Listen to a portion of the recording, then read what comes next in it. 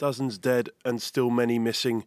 The strongest typhoon to hit the Philippines this year has taken its toll. The number of confirmed deaths has increased as many casualties were announced on the island of Bohol.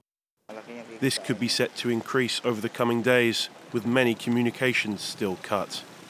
The typhoon swept through the south and the centre of the country with winds of up to 195 kilometers per hour. President Rodrigo Duterte visited one of the worst affected regions, Surigao, on Sunday. The problem is our people. Because, as I intimated to them last night in our meeting, I didn't say we don't have money, that we don't have enough funds to help the people. We do have money, but the budget is a bit tight because we've poured all our resources into fighting COVID.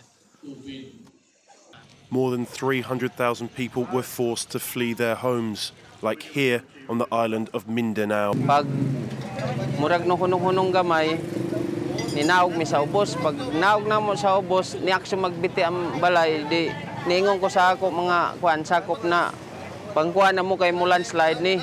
Igo rami diha nagatabok sa DAPS Pharmacy. No kuan na ang lupa. Unya tanaw na murag no magkusog, ni diha sa pag-ibig. The Philippines is hit by an average of 20 storms and typhoons every year, but locals were left unprepared for the sustained power of Typhoon Rai. The ferocity of the storm has been linked to global warming, with the Philippines being ranked among the globe's most vulnerable nations to the impacts of climate change.